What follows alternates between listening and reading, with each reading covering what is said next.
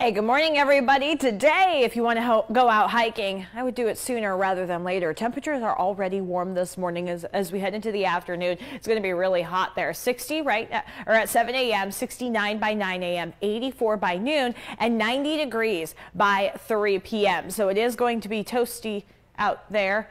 Um, as we take a look at today's high, it's going, it's 90 degrees.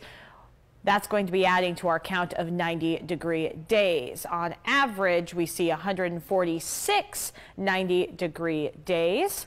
Um, sorry, guys. Looks like we're having some technical difficulties. You get to look up into our ceilings. Look at that. we're just taking a tour of the studio. Whoa! now you get to see my flip flops. the magic of TV, folks.